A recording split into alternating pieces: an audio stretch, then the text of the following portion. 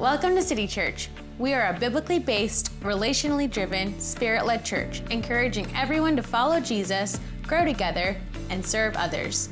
We're excited to share this sermon with you today, and you can always find out more about us online at citychurchcville.com. For those of you who've been with us, you know that we've been spending an entire year in the kingdom of God. What is it and how do you live in it? And so, with that, um, the key reality of the kingdom of God, according to Jesus, is this prayer he taught us to pray. And so, I'm going to ask that we would pray it out loud together. It's called the Lord's Prayer. It's found in Matthew 6, 9 through 13. Let's pray together. This then is how you should pray Our Father, who is in heaven, hallowed be your name. Your kingdom come, your will be done on earth in Charlottesville as it is in heaven. Give us today our daily bread, and forgive us our debts as we also have forgiven our debtors. And lead us not into temptation, but deliver us from the evil one. You may be seated. So, the sermon that I'm going to bring this morning is going to be taken from Philippians chapter 4, verses 6 through 9, four verses.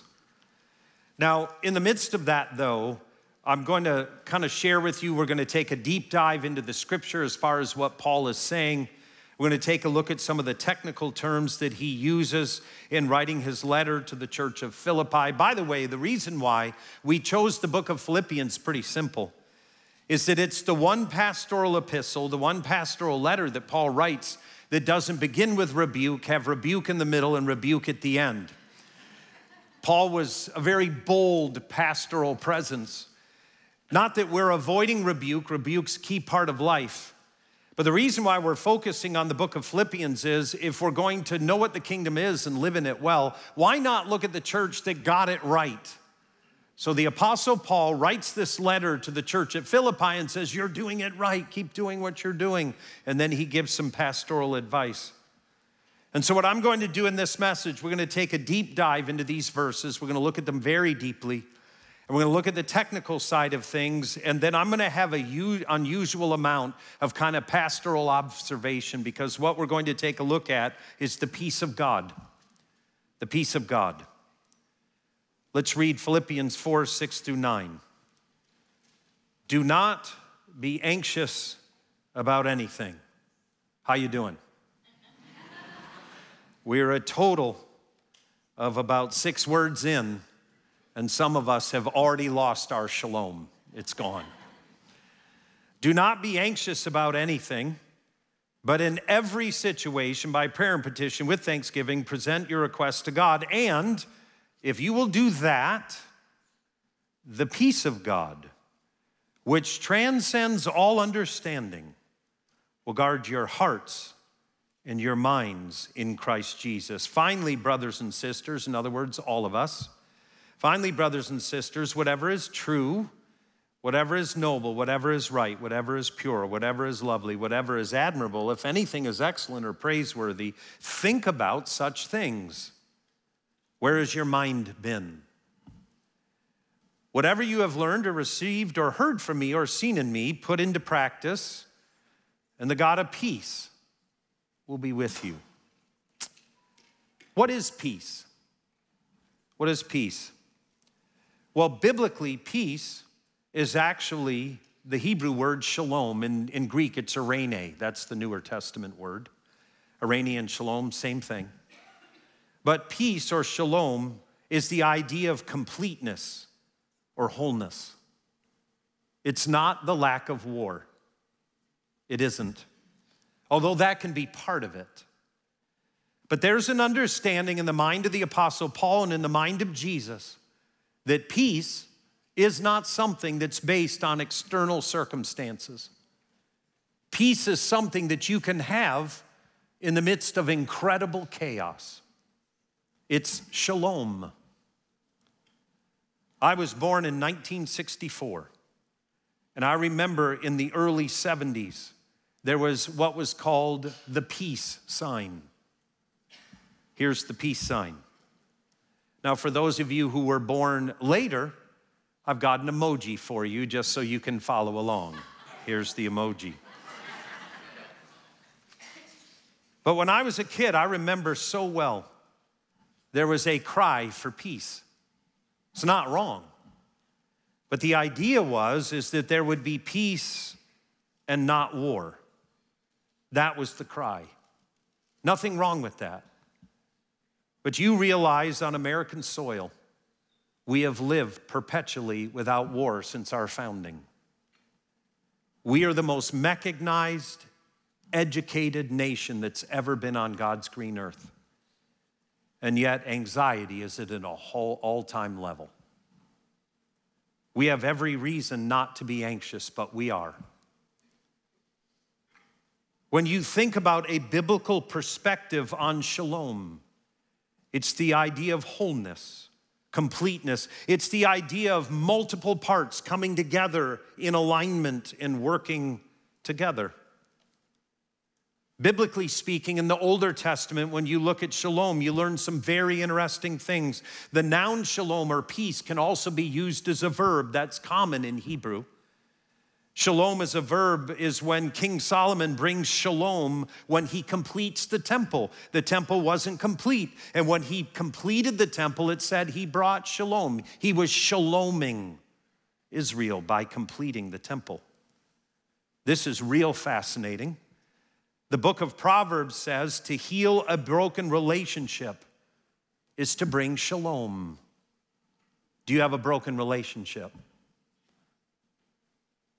In the Older Testament, shalom is when rival kings not only cease to battle each other, but join together for the, for the, the common good of all people in both nations. In other words, shalom just goes beyond a peace treaty and a lack of war. Shalom is actually demonstrated when nations come together and work for the common good. What's amazing, though, is in Israel's history, you have to look a long way to find a king that ever did that. And so the prophets of old looked into the future for a king that would accomplish this. And in Isaiah chapter 9, verse 6, we read a verse that's common at Christmas. For to us a child is born, to us a son is given, and the government will be on his shoulders, and he will be called Wonderful Counselor, Mighty God, Everlasting Father, and Prince of Shalom. He will usher in the kingdom and he will bring God's shalom.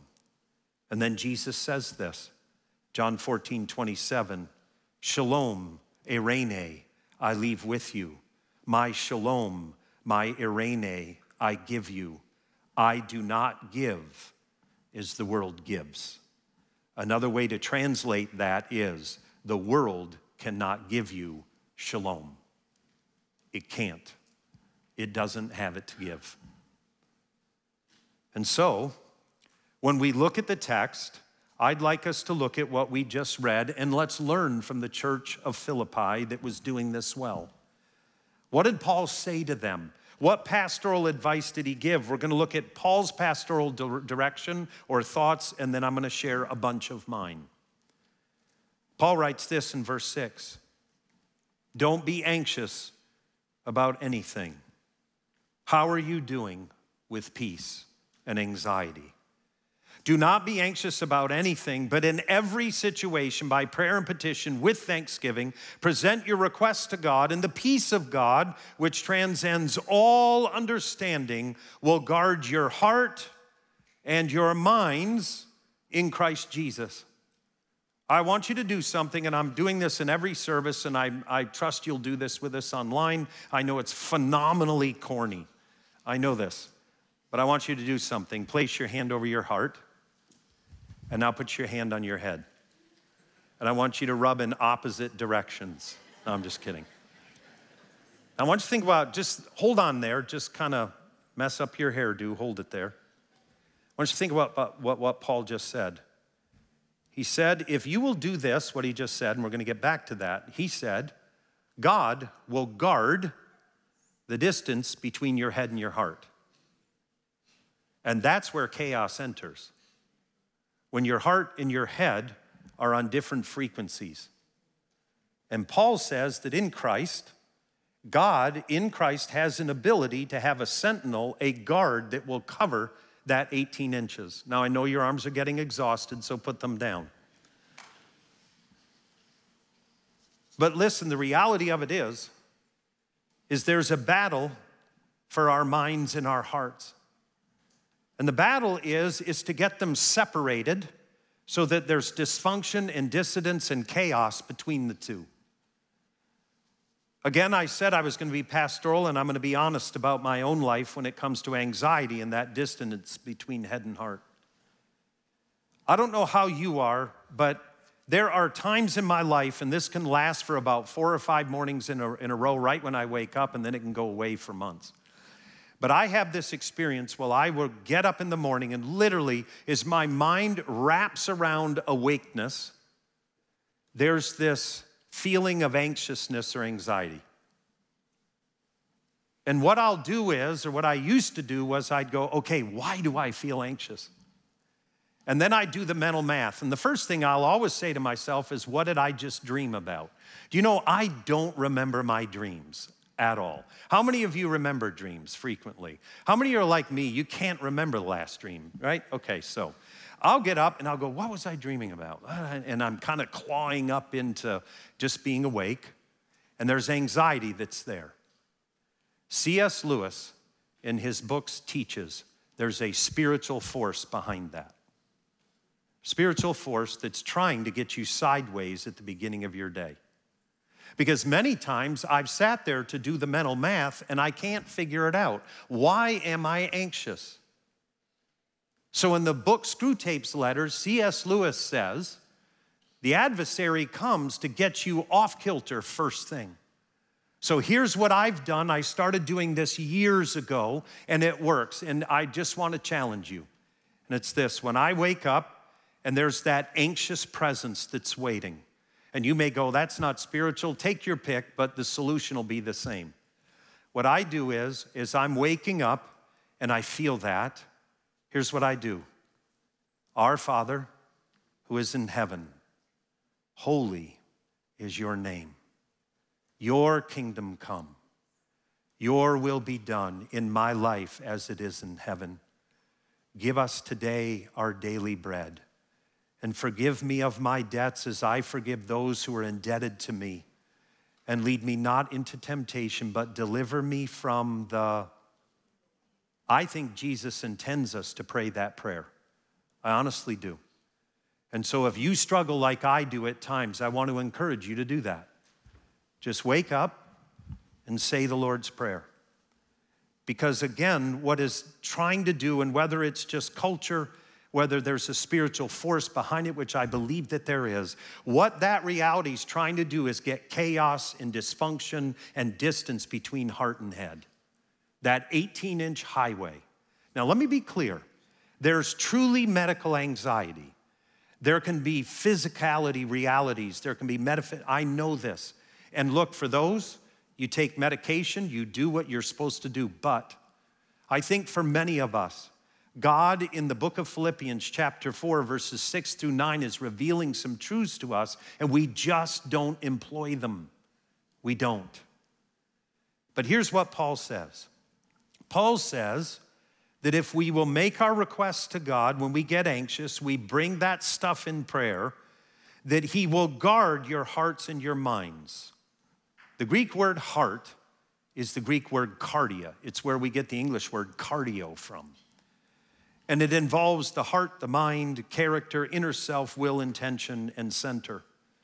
You know, it's fascinating to note as I was doing a word study on this text that the word heart is used over 800 times in the Bible, and it never once refers to that organ that pumps blood. Never. Every time it's about the soulishness, the center of life. And what Paul says is look, when you have anxiety, if you're willing to bring it to God in prayer, that distance between mind and heart, that God is going to position a, he's going to position a sentinel or a guard to protect that highway. It's interesting to note that the Greek word for guard, there's several of them, but this one's really fascinating. It's the idea that there's a guard position to keep watch. But not only is that guard defensive, but that guard is also offensive. Isn't that fascinating? The word that Paul uses means that God will not only guard, but go on the offense to protect you.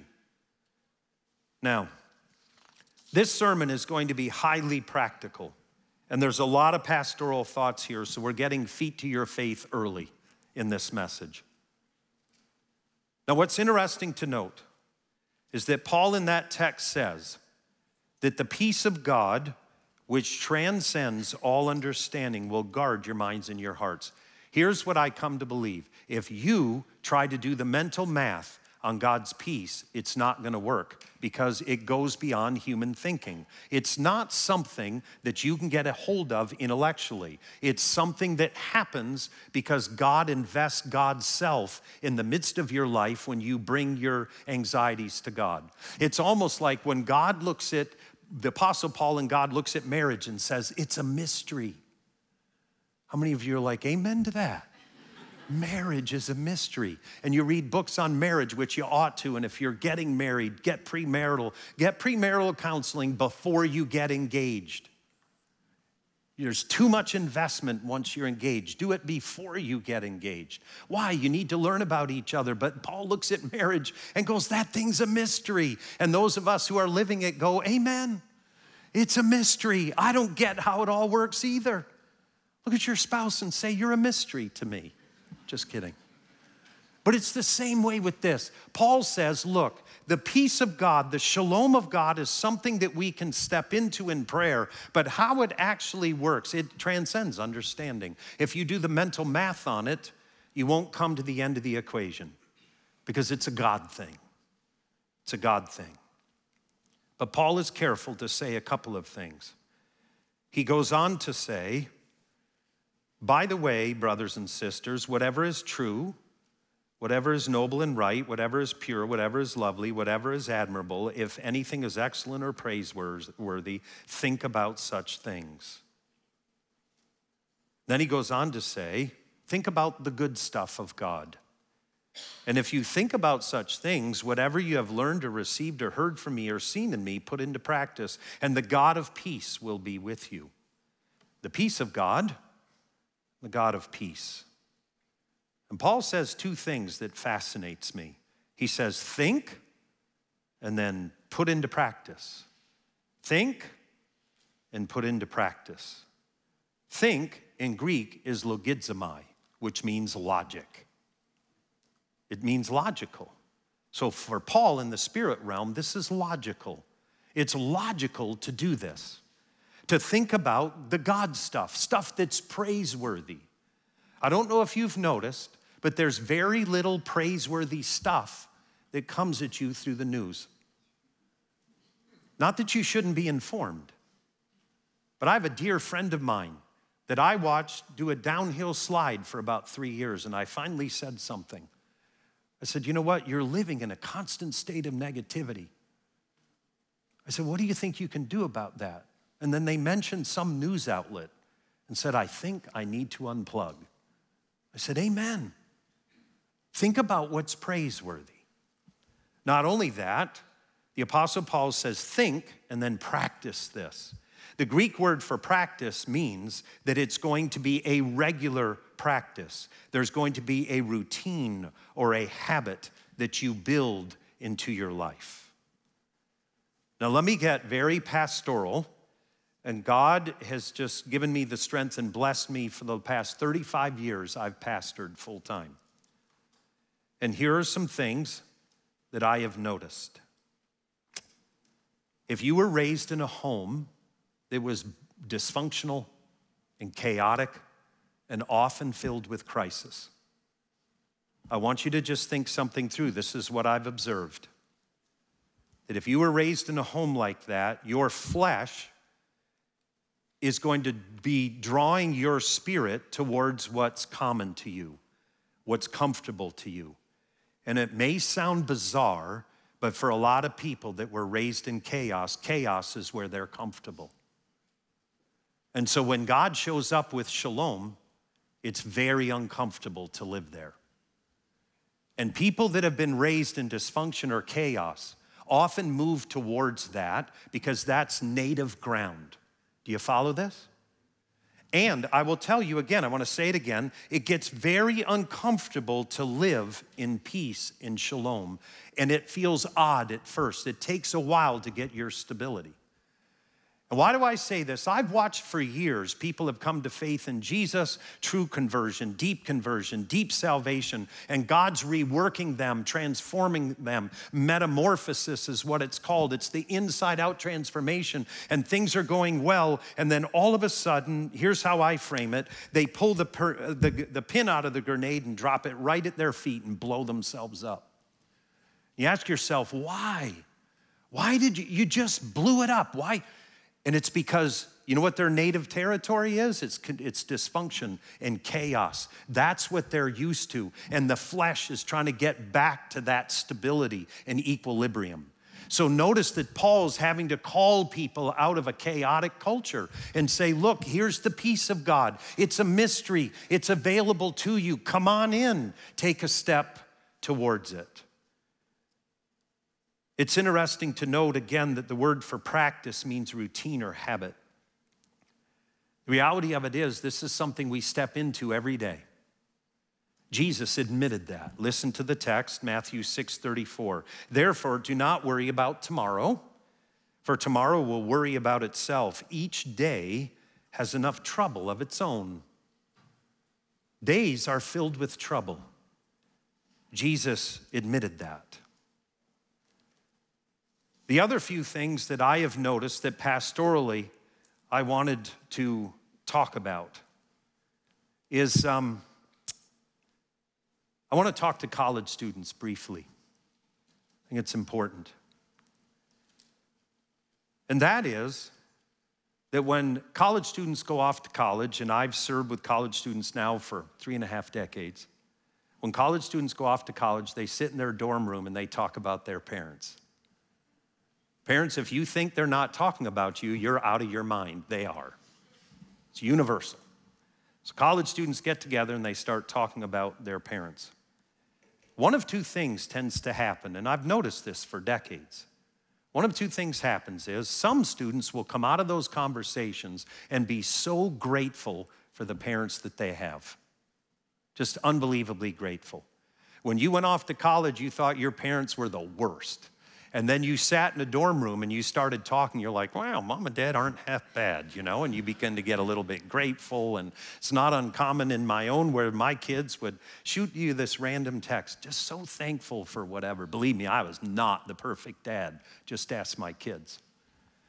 But the other thing that can happen is that you sit and you begin to talk and instead of focusing on things that are praiseworthy, and I'm not talking about ignoring what needs to be worked on, but you can begin to live in the negative realm. And I've watched college students do that, where a distance and a bitterness and a rage begins to grow towards parents. I've seen it for years. And so, what the gospel calls us to, what Jesus calls us to, is to live in God's best and God's shalom. And for those of you who are college students, I want you to think about something that's been very impactful in my own life. You see, the Ten Commandments, conservative Jewish rabbis teach us that the Ten Commandments are actually what's called a chiasmus. In other words, the Ten Commandments fold over on themselves, and law number one goes with law number six. Law number two goes with law number seven. Law number three goes with law number eight. And when you look at that, what you'll find is when it lays over as a chiasmus, the Ten Commandments, what you'll find is law number five honor your father and your mother, and do not covet come together. And here's what the rabbis teach the rabbis teach the following that every young adult, as they grow, are going to be drawn to the things of the world and to the better things of life. In other words, doing better than mom and dad did. And so, what ends up happening, and the rabbis talk about this frequently to young adults, and it's true, that maybe you were raised in a home that was at a certain status, And then you go out into life or you go off into college and you begin to strive for better things. And then you become ashamed of your parents. You cease to honor them because they're not at the level that you wish they'd had brought you from. Does this make sense? And so, what the Ten Commandments teaches and the conservative rabbis teach is that covetousness is the thing that destroys honor mom and dad. It's what brings the dissonance between that. And so, think about that if you're in college.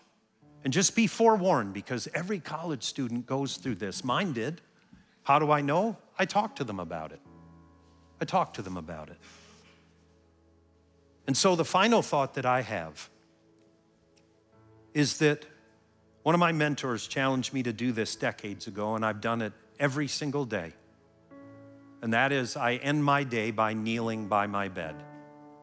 I don't say that at all to lift myself up at all. But every day, I kneel by my bed. I do not conclude a day without, without kneeling by my bed and bringing my concerns to God. Every single day. And it always begins with the Lord's Prayer. And then when I'm done praying the Lord's Prayer, I bring my cares and my concerns to God. Because the text says, if you do that, if you bring your anxieties to God in prayer, that God in Christ will position a sentinel, a guardian between head and heart. God's gonna guard that 18 inch highway with stuff that's trying to pour in. And so I want to encourage you to do that. Men, None of us are smart enough or big enough to do life without this. We're just not. I also know that some of the cutest pictures you'll ever see is a little kid kneeling by their bed like this and praying. Jesus said, Unless you become like a child, you can't enter the kingdom. Maybe he means kneeling by your bed as a grown man or a grown woman and bringing your anxieties to the Lord. And then something that transcends all understanding just starts happening. It doesn't make sense mentally, but something starts to happen, and God begins to protect that, that region that can be given to chaos between head and heart. Would you stand with me?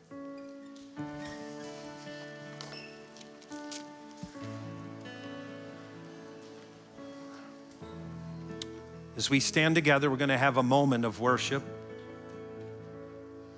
And I know it's corny. Put your hand on your head, your hand on your heart as you close your eyes in prayer. Is there dissonance between head and heart? If there is, I encourage you to take this next time as we sing about the goodness of God, that you would take these next few minutes to pray and to bring that to God. Some of you might want to come forward to pray. At this point in our service, no one will be here to pray with you or to pray for you. Maybe you want to step out and just actually deal with this full sail, and you know that you need to take a physical, bodily move, that you need to move towards God and bring this to Him. Others of you can do the business where you're at. You can just simply deal with that thing, that anxiety that's been plaguing you. But can you take a moment as we sing about the goodness of God? If you're getting tired, you can move your hand from your head. Well, let's take a moment to pray. Again, if you would like to come forward for prayer, you can. Let's worship.